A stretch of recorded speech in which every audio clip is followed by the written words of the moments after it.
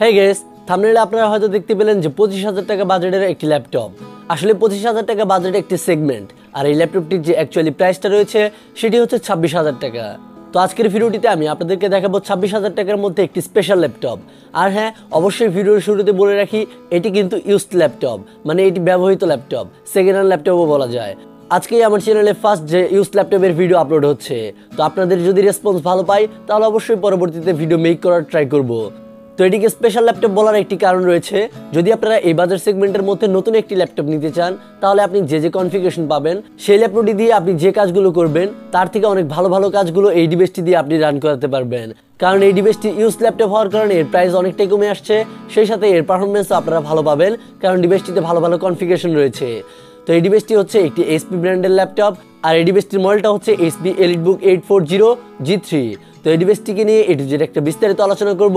তো ভিডিওটিতে একটি লাইক দিয়ে চ্যানেলটি সাবস্ক্রাইব করতে ভুলবেন না। তো চলুন তাহলে শুরু করা যাক আজকের এই ভিডিওটি। ওয়েল প্রথমে যদি এই ডিভাইসটির ডিজাইনটা নিয়ে কথা বলি, ডিজাইনটা হয়তো আপনাদের কাছে খুব একটা ভালো লাগবে না, কারণ এটি একটি ইউজ ল্যাপটপ অনেক আগেই এই ডিভাইসটি তৈরি হয়েছে। তো সেই হিসেবে খুব একটি প্রিমিয়াম কোয়ালিটির ল্যাপটপ নয়। ডিসপ্লের ব্যাজেলগুলো বেশ মোটা। এর কারণেই মূলত প্রিমিয়াম কোয়ালিটির একটা ভাব আসে না। সেই সাথে এই ডিভাইসটি একটু মোটা সোটা। তো যাই হোক, যদিও ডিজাইনটা খুব একটা প্রিমিয়াম কোয়ালিটির নয়, কিন্তু প্রাইস হিসেবে আবার ঠিকঠাকই রয়েছে আমার কাছে মনে হয়। ডিজাইনটা আপনাদের কাছে ভালো না লাগলেও এই ডিভাইসটিতে যে কনফিগারেশনগুলো সেই সাথে যে ফিচারগুলো রয়েছে, সেগুলো আপনাদের মনকে অবশ্যই জয় করে নেবে। এই ডিভাইসটিতে আপনারা কিবোর্ড হিসেবে পেয়ে যাচ্ছেন একটি ব্যাকলিট কিবোর্ড দেন এর টাচপ্যাডটাও ঠিকঠাকই রয়েছে, খুব একটা বড় নয়, আবার খুব একটা ছোটোখাটো নয়। আপনাদেরকে এই ডিভাইসটির একটা স্পেশাল ফিচারের কথা জানিয়ে দিচ্ছি। এই ল্যাপটপটিতে আপনারা কিন্তু একটি লক আনলকের জন্য ফিঙ্গারপ্রিন্ট সেন্সর পেয়ে যাচ্ছেন।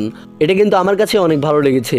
যারা একটু সিকিউরিটি নিয়ে ভাবনা চিন্তা করেন, তাদের জন্য বেশ কার্যকর হবে এই ডিভাইসটির ফিঙ্গারপ্রিন্ট সেন্সরটা তো ডিজাইনের কথাটা রেখে যদি কনফিগারেশনের দিকে নজর দেই ওয়েল কনফিগারেশনের শুরুতেই আমরা এই ডিভাইসটির ব্রেন সম্পর্কে একটু কথা বলব মানে এর প্রসেসর এই ডিভাইসটিতে আপনারা প্রসেসর হিসেবে পাচ্ছেন ইন্টেল কোরাই ফাইভ সিক্স জেনারেশনের একটি প্রসেসর এর মডেলটা হচ্ছে six two zero zero U আর এই ডিভাইসটির প্রসেসরের বেস ক্লক স্পিডটা হচ্ছে two point three zero gigahertz up to two point eight zero gigahertz এই প্রসেসরটি কিন্তু একটি ডুয়েল কোর প্রসেসর আর এতে থ্রেড হিসেবে রয়েছে ফোর প্রসেসরটিতে আপনারা ক্যাশ মেমোরি হিসেবে পেয়ে যাচ্ছেন থ্রি এমবি ক্যাশ মেমোরি তো এই বাজার সেগমেন্টের মধ্যে সত্যি বলতে এই প্রসেসরটা কিন্তু আপনারা কখনোই পাবেন না নতুন ল্যাপটপ থেকে।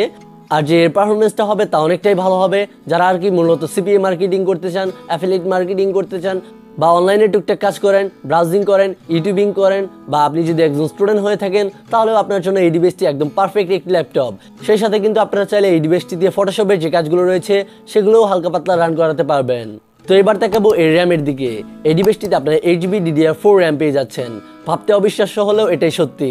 ডিভাইসটিতে এইট জিবি র্যাম থাকছে, তাও আবার ডিডিআর ফোর এর র্যাম অবশ্যই বলা যায় এই ডিভাইসটি থেকে আপনারা একটা ভালো পারফরমেন্স পাবেন। যদি স্টোরেজের কথায় আসি, তাহলে এই ডিভাইসটিতে আপনারা স্টোরেজ হিসেবে পেয়ে যাচ্ছেন একশো আঠাশ জিবি এসএসডি তো এই ডিভাইসটিতে যেহেতু এসএসডি রয়েছে এসএসডির ফলে ল্যাপটপটি কিন্তু আরও ফাস্ট হয়ে যাবে। সেই সাথে দুইশো ছাপ্পান্ন জিবি পর্যন্ত এসএসডিটা আপনারা চাইলে আপডেট করে নিতে পারেন। ল্যাপটপটির ডিসপ্লে সেকশনটা নিয়ে যদি কথা বলি ডিসপ্লে লুকিংটা হয়তো খুব একটা ভালো লাগতেছে না ব্যাজেলগুলো মোটা হওয়ার কারণে। কিন্তু এই ডিভাইসটিতে আপনারা ডিসপ্লে হিসেবে পেয়ে যাচ্ছেন ফোরটিন ইঞ্চের একটি এইচডি এলইডি ব্যাকলিট ডিসপ্লে বেশ ভালো মানের একটি ডিসপ্লে কিন্তু এই ডিভাইসটিতে ইউজ করেছে। মোটামুটি একটা ভালো পারফরমেন্স আপনারা অবশ্যই পাবেন ডিসপ্লেটা থেকে। ল্যাপটপটিতে আপনারা অডিওর জন্য ডুয়েল স্পিকার পেয়ে যাচ্ছেন। সেই সাথে এই ডিভাইসটির ওপরের টপ বেজেলটায় রয়েছে একটি এইচডি ওয়েব ক্যাম টুকটাক ভিডিও কলিং এর কাজটা আশা করছি খুব ভালোভাবে কমপ্লিট করতে পারবেন। কথায় আসি এবার, এই ডিভাইসটির নেটওয়ার্ক অ্যান্ড ওয়ারলেস কানেক্টিভিটি অপশনের দিকে। এই ডিভাইসটিতে আপনারা ওয়াইফাই পেয়ে যাচ্ছেন, সেই সাথে থাকছে ব্লুটুথ কথা বলব এবার এই ডিভাইসটির গ্রাফিক্স কার্ডটা নিয়ে। এই ডিভাইসটিতে আপনারা গ্রাফিক্স হিসেবে পেয়ে যাচ্ছেন Intel HD five hundred twenty graphics তো গ্রাফিক্সের কোয়ালিটিটাও কিন্তু বাজার সেগমেন্টের মধ্যে ঠিকঠাক। সাধারণত কোরাই ফাইভ, সিক্স জেনারেশনের একটি ল্যাপটপ থেকে আমরা এরকমই একটি গ্রাফিক্স কার্ড পেয়ে থাকি। তো এবার যদি কথা বলি এই ডিভাইসটির ব্যাটারিটা নিয়ে, তাহলে এই ডিভাইসটিতে আপনারা ব্যাটারি হিসেবে পেয়ে যাচ্ছেন three cell forty four WS একটি ব্যাটারি, যার ব্যাটারি ব্যাকআপটা অ্যারাউন্ড আমার মনে হয় আপনারা যেহেতু একটি মিড লেভেলের ইউজার হবেন সেই ক্ষেত্রে আপনাদের জন্য চার থেকে পাঁচ ঘণ্টা প্লাস এই ডিভাইসটির ব্যাটারি ব্যাকআপটা হয়ে যাবে। তো দারুণ একটা ব্যাটারি ব্যাকআপ কিন্তু এই ডিভাইসটি থেকে আপনারা পাচ্ছেন। পোর্টসের দিকে তাকালে দেখতে পারবেন একটি USB two point zero port রয়েছে, একটি এইচডিএমআই পোর্ট রয়েছে, একটি এইচডি কার্ড রেডার রয়েছে headphone and microphone combo jack রয়েছে, সেই সাথে রয়েছে অন্যান্য প্রয়োজনীয় অনেক পোর্টস তো এই ল্যাপটপটির ক্ষেত্রে আশা করছি পোর্টসগুলো নিয়ে কারও কোনো প্রবলেম হবে না। আর হ্যাঁ প্রথমেই বলে দিয়েছি, এটি একটি ইউজ ল্যাপটপ আর এই ল্যাপটপটিকে আপনারা বিডি স্টলে পেয়ে যাবেন।